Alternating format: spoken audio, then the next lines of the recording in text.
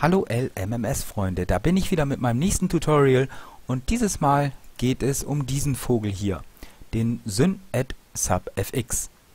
Was ist der Syn? Er ist ein ja, mit Linux Multimedia Studio zusammengelieferter Software-Synthesizer mit einer grauenhaften Oberfläche, aber mit sehr guten Möglichkeiten, eigene Sounds zu erstellen. Ähm, parallel dazu kann man ihn auch als VST herunterladen, auch kostenfrei. Hm, ich habe beides installiert, aber wir nutzen heute das LMMS eigene Plugin. Einmal draufgeklickt und ihr seht selber, es öffnet sich hier unser kleiner Container, in dem das Instrument angezeigt wird. Als erstes fallen uns hier diverse kleine Drehregler auf. Seht selber Portamento, äh, dann haben wir Filterfrequenz, wir haben Filterresonanz und so ein paar Sachen, die wir verändern könnten. Vorteil, wenn wir hier was verändern, ist, wir können einen dieser Knöpfe wieder in einen Automationstrack hineinziehen.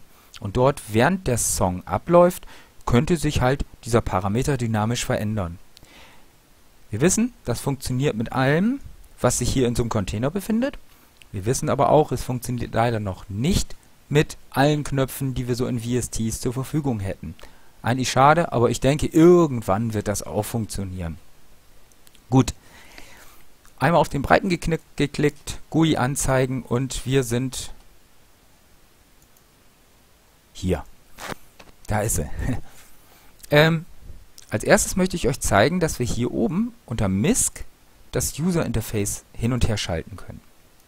Jetzt sind wir im Anfängermodus. Es kann nämlich sein, dass das Synthesizer bei euch so aussieht.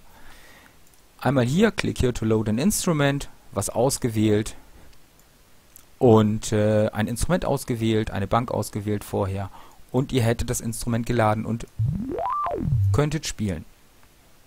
Wir möchten natürlich jetzt etwas selber erstellen, das heißt, wir gehen jetzt wieder dabei, sagen Switch User Interface und sind auf dem Advanced Mode und äh, ja, um daran zu kommen, wo wir hinwollen, müssen wir jetzt ein paar Mal klicken, aber auf dem Weg dahin erkläre ich euch nochmal einiges.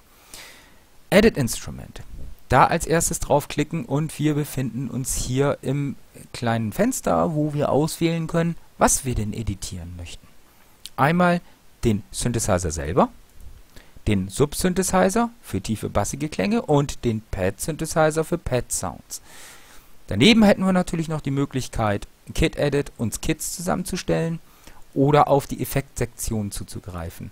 Ähm, ich kann euch abraten, hier von den Effekten abzusehen, weil äh, man kann ihn an anderer Stelle noch einfügen. Und wenn ihr hier nachher mal einen Effekt einfügen solltet, wundert ihr euch manchmal, wo kommt der Effekt her?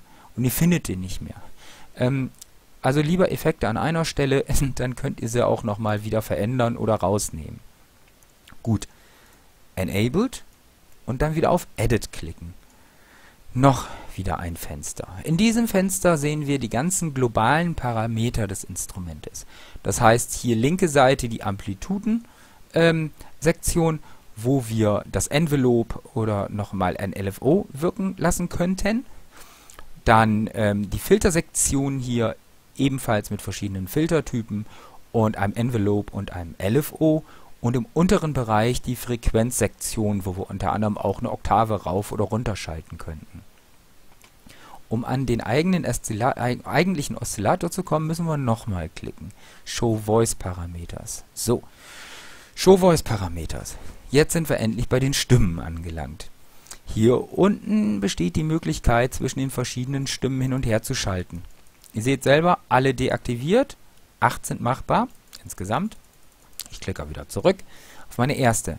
Und hier in diesem Fensterchen erkennen wir jetzt auch genau, welche Wellenform dieser Stimme zugrunde liegt. Ich drücke mal auf meinen Nano-Key und wir hören ein ganz interessantes Brummen. Sehr aufregend, muss dringend was dran geändert werden. Um an diesen Oszillator selber ranzukommen, müssen wir noch ein einziges Mal klicken. Change. Jetzt sind wir endlich da angelangt, wo wir hinwollen. Beim Oszillator. Der unterteilt sich in zwei Hälften. Linke Seite ist der veränderte Oszillator, rechte Seite der Basisoszillator, der zugrunde liegt. Wenn wir rechts fangen wir also an. Wir suchen uns eine passende Basis aus. Hier seht ihr verschiedene Wellenformen, die zur Verfügung stehen, unter anderem auch die Powerwelle. wird sehr häufig gebraucht. Oder die Saw natürlich, wenn ihr eine Super Saw bauen wollt. Oder ihr nehmt einfach mal die Diode. Die nehmen wir jetzt mal. Ihr seht selber einmal hier ausgewählt, in beiden Fenstern ändert, sich, ändert es sich. Heute konzentrieren wir uns mal aufs linke Fenster. Im linken Fenster habt ihr die Möglichkeit, hier über diese ganzen Schieberegler auf die unterschiedlichsten Bereiche dieser Welle zuzugreifen. Das heißt, ihr dreht einen Schieberegler und ihr seht selber, die Welle verändert sich. Das ist absoluter Hammer, ne? Genauso könnt ihr auch noch sagen, hier, ich möchte ein Wave Shaping nutzen und könnt verschiedene Wave Shapings auswählen und ihr hört, jedes Mal ändert sich der Ton und zwar komplett. Gut, nehmen wir mal, na, die klingt ein bisschen knatschig. Da haben wir doch was von. So, und jetzt drehe ich einfach mal ein bisschen was. und versuche mal einen netten, netten Ton zu basteln. Soll uns erstmal reichen. Wunderbar. Um das vom linken Fenster jetzt ins rechte Fenster reinzukriegen, also quasi als Basis nutzen, brauchen wir nur auf Use as Base klicken. So, ja, nun haben wir es rechts. Und wir hätten jetzt nochmal die Möglichkeit, hier das Shaping ein wenig zu verändern. So lassen wir es doch einfach mal. Close. Wunderbar. Jetzt gehen wir mal eine Stimme weiter. Aktivieren die. Wir hätten natürlich jetzt hier die Möglichkeit, selber wieder eine eigene Welle reinzubauen, aber das wollen wir jetzt nicht. Wir möchten jetzt einfach die aus der ersten nutzen, um das Instrument halt kräftiger zu machen gehe ich auf External 1, nochmal auf den dritten, External 1. Und jetzt habe ich im Grunde genommen hier an der Welle, seht ihr es selber, jedes Mal meine erst gezeichnete zugrunde gelegt. Wir machen das wieder zu. Dann haben wir von hier aus die Möglichkeit, über Show Voice List an unsere drei Stimmen nochmal ranzukommen. Hier seht ihr sie. Wir könnten sie nochmal aktivieren, deaktivieren, aber das wollen wir jetzt gar nicht. Ich möchte jetzt einfach nur das Panning etwas verändern. Und ich spiele es jetzt nochmal ab. Ein bisschen zu detune.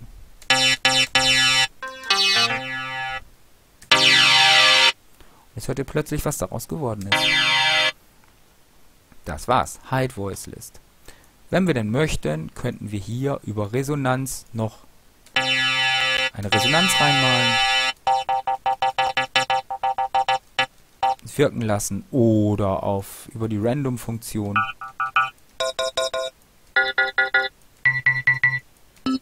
Ihr hört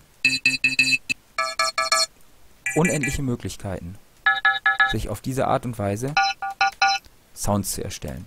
Ich disable es wieder, mach mal Close und hier auch mal Close. Jetzt sind wir wieder da angelangt. Ich möchte noch meinen Subsynth mit aktivieren damit noch ein kleines bisschen mehr Bass reinkommt. Schieb hier ein bisschen was hoch. Fertig. Close. So klingt's jetzt. Schon gar nicht so übel. Wir bräuchten noch ein paar Effekte. Äh, wie ich schon gesagt habe, ich mache es am liebsten so, über Insertion Effects. Ihr könnt natürlich die Systemeffekte nutzen, aber hm, jeder hat es halt auf seine Art und Weise. Hier können wir jetzt sagen, in welchem Teil, also in welchem Part dieser Effekt wirken soll. Wollen wir aber nicht, wir wollen einfach einen Master-Out-Effekt nutzen. So, Master-Out, ausgewählt, Effektnummer, hm, nehmen wir mein Alien, wow. Ich liebe diesen Sound. Zweiter Effekt, Master-Out, oh, Reverb. Tja, und ihr hört's? Das war's schon.